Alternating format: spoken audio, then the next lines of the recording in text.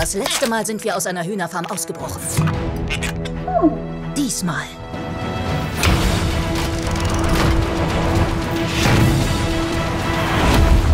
Brechen wir in eine ein. Das ist ganz unmöglich. Feuer frei. Es gibt ein Problem mit dem elektrischen Zaun. Bewaffneten mit Kameras bestückten Maulwürfen. Und lasergelenkten Granatenenten. Der Laden ist echt uneinnehmbar. Ja, und rein kommt man auch nicht.